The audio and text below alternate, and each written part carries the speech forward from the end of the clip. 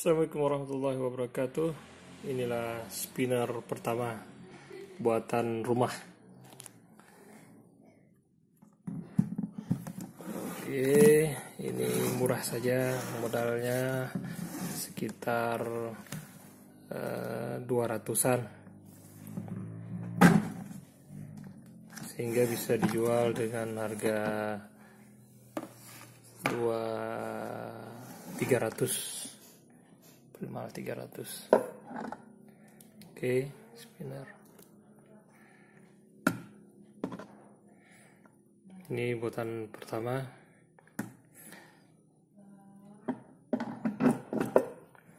Ini pengerjaannya sudah saya lakukan selama berbulan-bulan ya karena uh, selain dari memfokuskan bisa berputar atau untuk meniriskan minyak kita juga harus menguji ketahanan alat-alatnya. Ini kan terbuat dari plastik. Nah, bagaimana peralatan dari plastik tersebut tapi bisa dipakai bertahun-tahun.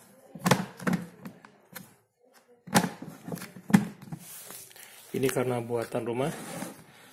Insya Allah kalau ada kerusakan itu mudah diperbaiki